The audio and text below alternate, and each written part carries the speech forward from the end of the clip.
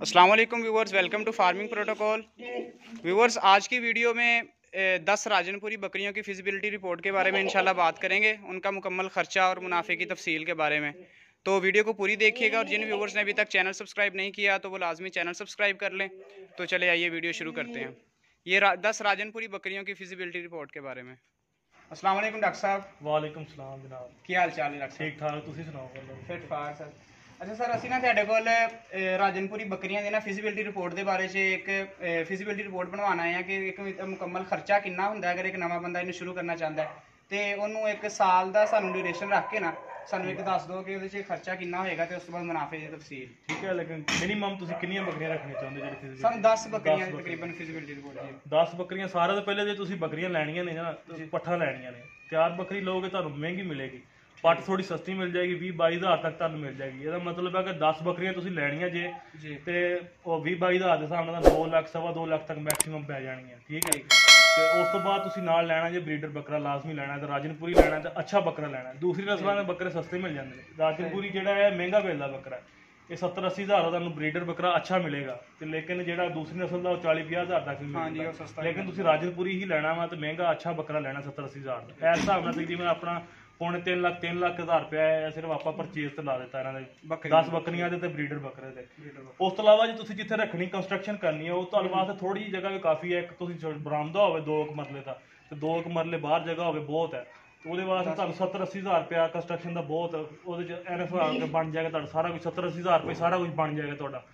ਤੇ ਉਸ ਤੋਂ ਬਾਅਦ ਨਾਲ ਪਾਣੀ ਦੀ ਹੌਦੀ ਤੁਸੀਂ ਬਣਾ ਲੈਣੀ ਹੈ ਪਾਣੀ ਇਹਨਾਂ ਨੂੰ ਖੁੱਲਾ ਹੋਵੇ ਆਪਣੀ ਮਰਜ਼ੀ ਨਾਲ ਪੀਣ ਆਪਣੀ ਨੂੰ ਤੁਸੀਂ ਦੇਣਾ ਨਹੀਂ ਲੇਕਿਨ ਕੋਸ਼ਿਸ਼ ਕਰੋ ਕਿ ਗਰਮੀਆਂ 'ਚ ਤਾਂ ਪੀਂਦੀਆਂ ਰਹਿਣ ਪਾਣੀ ਸਰਦੀਆਂ 'ਚ ਰਾਤ ਨੂੰ ਪਾਣੀ ਨਾ ਪੀਣ ਇਹ ਇਹਨਾਂ ਨੂੰ ਬੰਦ ਕਰ ਦੇਣਾ ਤੇ ਜਗ੍ਹਾ ਇਹਨਾਂ ਦੇ ਥੱਲੇ ਖੁਸ਼ਕ ਰੱਖਣੀ ਕੋਸ਼ਿਸ਼ ਇਹ ਕਰਨੀ ਹੈ।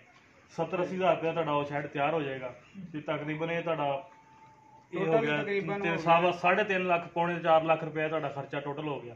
2 ਲੱਖ ਬੱਕਰੀਆਂ ਪਰਚੇਜ਼ ਕਰਨ ਦਾ? 2 ਲੱਖ ਬੱਕਰੀਆਂ ਦਾ 70 80 ਹਜ਼ਾਰ ਦਾ ਬਰੀਡਰ ਹੋ ਗਿਆ ਹੋ ਗਿਆ ਠੀਕ ਤੇ ਬਾਕੀ 70 80 ਹਜ਼ਾਰ ਤੱਕ 3.5 ਪੌਣੇ 4 ਲੱਖ ਰੁਪਏ ਤੁਹਾਡਾ ਖਰਚਾ ਹੋ ਗਿਆ। ਕੋਸਟ ਉਸ ਤੋਂ ਬਾਅਦ ਫੀਡ ਦਾ ਵੀ ਫੀਡ ਹਾਂਜੀ ਫੀਡ ਇਸ ਤਰ੍ਹਾਂ ਹੈ ਕਿ ਤੁਸੀਂ ਫੀਡ ਜਿਹੜੀ ਹੈ ਨਾ ਇਹਨਾਂ ਨੂੰ 6 ਮਹੀਨੇ ਦਾ ਤਕਰੀਬਨ ਲੱਖ ਕੁ ਰੁਪਏ ਖਰਚਾ ਆ ਜਾਂਦਾ ਫੀਡ ਤੇ ਅਗਰ ਤੁਸੀਂ ਅੱਛੀ ਛੇ ਫੀਡ ਮਹੀਨੇ। ਖਿਲਾਓ 6 ਮਹੀਨੇ ਠੀਕ। ਠੀਕ ਆ। ਇਸ ਤੋਂ ਕਮੋ ਵੇਚ ਥੋੜਾ ਬਹੁਤ ਵੀ ਹੋ ਸਕਦਾ ਘੱਟ ਵੱਧ ਵੀ ਹੋ ਸਕਦਾ। ਘੱਟ ਵੀ ਹੋ ਜਾਂਦਾ ਫੀਡ ਦਾ ਰੇਟ ਆ ਨਾ ਥੋੜਾ ਘੱਟ ਵੱਧ ਹੋਇਆ ਕਿਉਂਕਿ ਇੰਗਰੀਡੀਐਂਟ ਜਿਹੜੇ ਨੇ ਉਹ ਥੱਲੇ ਵੀ ਆ ਜਾਏਗਾ 10 ਹਜ਼ਾਰ ਉੱਤੇ ਵੀ ਚਲਾ ਜਾਂਦਾ ਮਤਲਬ 6 ਮਹੀਨਿਆਂ ਦਾ ਜਿਹੜਾ ਨਾ ਉਹ ਤਕਰੀਬਨ ਲੱਖ ਰੁਪਏ ਲਾ ਦਿਆ ਲੱਖ ਰੁਪਏ ਲਾ ਲਓ ਵੀ। ਠੀਕ। ਸਹੀ ਹੋ ਗਿਆ। ਅੱਛਾ ਇਹ ਤੇ ਹੁਣ ਆਪਣਾ ਖਰਚਾ ਹੋ ਗਿਆ। ਹੁਣ ਮੁਨਾਫੇ ਦਾ ਸਾਨੂੰ ਦੱਸੋ ਕਿ ਕੀ ਮਤਲਬ ਕੀ ਮੁਨਾਫਾ। ਇਹ ਜਿਹੜੀ ਬੱਕਰੀਆਂ ਨੇ ਇਹ ਸਾਲ 'ਚ ਦਿੰਦੀਆਂ ਨੇ ਦੋ ਬੱਚੇ। ਮਤਲਬ 6 ਮਹੀਨੇ ਬਾਅਦ ਤੁਹਾਨੂੰ ਬੱਚਾ ਦੇ ਦੇਗਾ ਤੁਸੀਂ ਪੱਠ ਲੈ ਕੇ ਆਏ ਆ 2-3 ਮਹੀਨੇ ਤੁਹਾਡੀ ਪ੍ਰੈਗਨੈਂਟ ਹੋ ਗਈ ਆ ਉਹਨੇ ਉਸ ਤੋਂ ਬਾਅਦ 6 ਮਹੀਨੇ ਤੁਹਾਨੂੰ ਬੱਚਾ ਦੇ ਦੇਣਾ। 6 ਮਹੀਨੇ ਤੁਹਾਡੇ ਕੋਲ 10 ਬੱਚੇ ਆ ਗਏ ਸਾਲ 'ਚ ਆ ਗਏ ਤੁਹਾਡੇ ਕੋਲ 20 ਬੱਚੇ 10 ਬੱਕਰੀਆਂ ਠੀਕ ਹੈ ਠੀਕ। 20 ਬੱਚੇ ਅਗਰ ਤੁਸੀਂ ਛੋਟੀ ਉਮਰ 'ਚ ਵੇਚੋ ਨਾ ਤੁਹਾਨੂੰ ਫਾਇਦਾ ਹੈ। ਇਸ ਤਰ੍ਹਾਂ ਕਿ ਉਹ ਫੀਡ ਨਹੀਂ ਲੈਣਗੇ ਮਾਂ ਦੇ ਦੁੱਧ ਤੇ ਹੀ ਹੈ। ਤੁਹਾਡਾ ਉਹਦਾ ਫੀਡ ਦਾ ਖਰਚਾ ਕੋਈ ਨਹੀਂ ਹੋਏਗਾ। ਸਹੀ ਤੇ ਇਸ ਤਰ੍ਹਾਂ ਫਾਇਦਾ ਅਗਰ ਤੁਸੀਂ ਇਹਨਾਂ ਨੂੰ ਵੱਡੇ ਕਰਕੇ ਵੇਚੋਗੇ ਫੀਡ ਖਾਣਗੇ ਤੁਹਾਨੂੰ ਘੱਟ ਫਾਇਦਾ ਹੋਏਗਾ। ਉਸ ਤੋਂ ਇਲਾਵਾ ਅਗਰ ਤੁਸੀਂ ਆਪਣਾ ਫਲਾਕ ਵਧਾਉਣਾ ਚਾਹੁੰਦੇ ਹੋ। ਤੁਸੀਂ ਇਹ ਅੱਛਾ ਜਿਹੜੇ ਵਿੱਚੋਂ ਇਹ ਬੱਚੇ ਤੁਸੀਂ ਕਹਿ ਰਹੇ ਹੋ 6 ਮਹੀਨੇ ਦੇ ਵਿੱਚ ਆਪਣੇ ਕੋਲ ਇੱਕ ਵਾਰੀ ਬੱਕਰੀ ਸੂ ਪਏਗੀ ਹਾਂਜੀ। ਠੀਕ ਹੈ। ਦੋ ਦੋ ਬੱਚੇ ਵੀ ਤੇ ਇੱਕ ਇੱਕ ਬੱਚਾ ਹੀ ਲਾ ਲਈਏ ਚਲੋ ਆਪਾਂ। 10 ਬੱਚੇ ਉਹ ਹੋ ਗਏ? 10 ਬਾਅਦ ਦੂਸਰੇ 6 10 ਦੂਸਰੇ 6 ਵੀਹ ਸਾਲ ਬੱਚੇ। ਦੇ ਆਪਣੇ ਕੋਲ 20 ਬੱਚੇ 20 ਹੋ ਬੱਚੇ। ਆ ਗਏ। ਠੀਕ ਹੈ।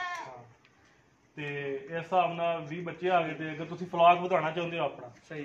ਤੇ ਤੁਸੀਂ ਆਪਣੀ ਜਿਹੜੀਆਂ ਬ- ਲੇਲੀਆਂ ਆਉਂਦੀਆਂ ਨੇ ਜਿਹਨਾਂ ਨੂੰ ਮਤਲਬ ਫੀਮੇਲ ਜਿਹੜੇ ਆਉਂਦੇ ਨੇ ਪੱਠੀਆਂ ਹੋ ਨੂੰ ਗਈਆਂ। ਪੱਠੀਆਂ ਉਹਨਾਂ ਨੂੰ ਤੁਸੀਂ ਆਪਣੇ ਕੋਲ ਰੱਖੋ ਉਹਨਾਂ ਨੂੰ ਤਿਆਰ ਕਰੋ ਅੱਗੇ। ਠੀਕ ਹੈ। ਤੇ ਜਿਹੜੇ ਦੂਸਰੇ ਬੱਕਰੇ ਨੇ ਉਹ ਵੇਚ ਦਿਓ ਤੁਸੀਂ ਜਿਹੜੇ ਮੇਲ ਨੇ। ਉਹਨਾਂ ਨੂੰ ਵੇਚ ਦਿਓ ਤੁਹਾਡੇ ਕੋਲ ਪੈਸਾ ਵੀ ਆ ਜਾਏਗਾ ਨਾਲ ਨੈਟ ਪੇਮੈਂਟ ਵੀ ਚੱਲ ਜਾਏਗੀ ਤੁਹਾਡੀ। ਤੇ ਜਿਹੜਾ ਤੁਹਾਡਾ ਪਿੱਛੇ ਮਾਲ ਤੁਹਾਡਾ ਖੜਾ ਉਹ ਤੁਹਾਡਾ ਸਾਰਾ ਮਾਲ ਦਾ ਮਾਲ ਤੁਹਾਡਾ ਪ੍ਰੋਫਿਟ ਹੀ ਪ੍ਰੋਫਿਟ ਹੈ ਮਤਲਬ ਜਿਹੜੀਆਂ ਆਪਾਂ ਪਹਿਲੇ 10 ਬੱਕਰੀਆਂ ਲਈਆਂ ਸਾਨੂੰ ਆਪਣੇ ਕੋਲ ਪ੍ਰੋਫਿਟ ਹੀ। ਪ੍ਰੋਫਿਟ ਬਾਕੀ ਤੁਹਾਡਾ ਜਿਹੜਾ ਆਏ ਨੇ ਬੱਚੇ ਆਏ ਨੇ ਤੁਹਾਡੇ ਜੋ ਖਰਚਾ ਨਿਕਲ ਜਾਏਗਾ ਸਾਰਾ ਬਾਕੀ ਜਿਹੜਾ ਸਾਲ ਖੜੀਆਂ ਨੇ ਜਿਹੜੀਆਂ। ਪੱਠਾਂ ਨੇ ਉਹ ਦੁਬਾਰਾ ਉਹ ਦੁਬਾਰਾ ਜਾਏਗਾ ਤੁਹਾਡਾ ਫਲਾਕ ਵੀ ਡਬਲ ਹੋ ਜਾਏਗਾ ਪ੍ਰੋਫਿਟ ਤੁਹਾਡਾ ਇਨਕਰੀਜ਼ ਹੁੰਦਾ ਜਾਏਗਾ ਨਾਲ ਨਾਲ। ਜਿਹੜੇ ਛੋਟੇ ਬੱਚੇ ਨੇ ਜਿਹੜੇ ਬੱਕਰੇ ਨੇ ਤਕਰੀਬਨ ਇਹ ਇਸ ਉਮਰ ਦੇ ਵਿੱਚ ਕਿਤੇ ਵੀ ਕਿੰਨੇ ਕੁ ਦਾ ਸੇਲ ਹੋ ਜਾਏਗਾ ਆਪਣਾ ਇਹ ਤਕਰੀਬਨ 4-5 ਮਹੀਨੇ ਦਾ ਜਿਹੜਾ ਵਾ 12-14 ਹਜ਼ਾਰ ਦਾ ਸਰ ਸੇਲ ਹੋ ਜਾਂਦਾ ਸੇਲ ਹੋ ਜਾਂਦਾ ਠੀਕ ਹੈ ਮਤਲਬ ਵੱਡੇ ਕਰਕੇ ਵੇਚੋਗੇ ਸਾਲ ਬਾਅਦ ਵੀ 22-23 ਹਜ਼ਾਰ ਦਾ ਹੋਏਗਾ ਫਿਰ ਖਰਚਾ ਹੋ ਜਾਏਗਾ ਲੇਕਿਨ ਉਹ ਫਾਇਦਾ ਨਹੀਂ ਹੋਏਗਾ ਅਗਰ ਆਪਾਂ 10000 ਦਾ ਵੀ ਇੱਕ ਐਸਟੀਮੇਟ ਲਾਈਏ ਤੇ ਆਪਣੇ ਕੋਲ ਜਿਹੜੇ 20 ਬੱਚੇ ਆਏ ਨੇ।